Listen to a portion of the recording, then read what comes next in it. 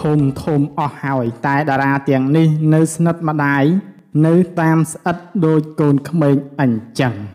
ជាទូទៅបើនិយាយដល់អ្នកម្ដាយនិងកូន នៅក្នុងជីវិតពិតមិនមែននៅក្នុងរឿងកុនមានកូនកូនជាច្រើនមិនសូវហ៊ានបង្ហាញក្តីស្រឡាញ់និងភាពស្និទ្ធស្នាលទៅកាន់ម្ដាយប៉ុន្មានឡើយ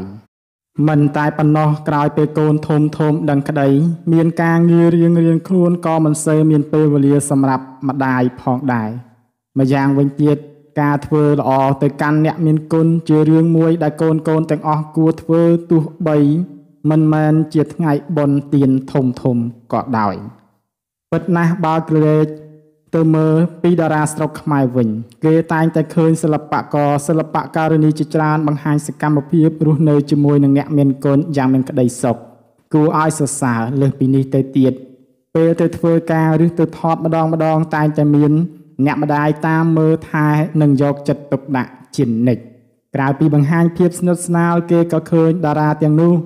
បង្ហាញសកម្មភាពខ្លះខ្លះដូចជាការថតវីដេអូខ្លីៗឲ្យ fan បានឃើញទៀតផង ជាក់ស្ដែងគេអាចនិយាយបានថាកាលដែលតារាខ្មែរបង្ហាញសកម្មភាពល្អល្អបែបនេះជាមួយនឹងអ្នកម្ដាយ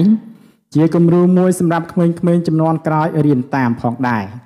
ហើយតារាខ្មែរដែលមានភាពស្និទ្ធស្នាលជាមួយនឹងម្ដាយខ្លាំងបំផុតនោះមានដូចជា1កញ្ញាសុភ័ក្រកុសមាពិតណាស់កញ្ញាសុភ័ក្រកុសមាត្រូវបានគេដឹងថាជាតារាស្រីដែលទទួលបាន ប្រជាប្រិយភាពខ្លាំងហើយគ្រប់ពេលគេតែងតែឃើញនាង បង្ហាញសកម្មភាពល្អល្អជាមួយនឹងអ្នកម្ដាយជានិច្ច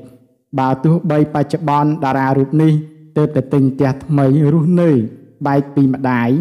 តែនាងនៅតែទៅជួបម្ដាយនិងបង្ហាញក្តីស្រឡាញ់ជូនម្ដាយមិនចាញ់ពេលមុនឡើយ2នីប្រែកពិធីករនីប្រែកត្រូវបានគេស្គាល់ថាជាកូនប្រុសពៅតារាសម្ដែងជើងចាស់យាយយ៉យ ដោយម្ដាយកូនទាំងពីររូបនេះតែងតែបង្ហាញភាពស្និទ្ធស្នាលជាមួយគ្នាស្ទើរតែគ្រប់ពេលដោយសកម្មភាពអ្នកទាំងពីរបានធ្វើឲ្យ fan មួយចំនួនលួចច្រណែននិងម្ដាយកូនមួយគូនេះគ្រប់គ្នា3កញ្ញារ៉េតស៊ូសាណាកញ្ញារ៉េតស៊ូសាណាជាតារាចម្រៀងស្រីវ័យក្មេងដែលទទួលបានប្រជាប្រិយភាពខ្លាំងក្រោយពេលជោគជ័យលើវិថីសិល្បៈនាងមានការងារច្រើនជាងមុនម្យ៉ាង គ្រប់ពេលនាងចេញទៅថតតារារូបនេះតែងតែមានម្ដាយជូនទៅថត ហើយបង្ហាញភាពស្និទ្ធស្នាលមិនចាញ់តារាទាំងពីរខាងលើប៉ុន្មានឡើយ។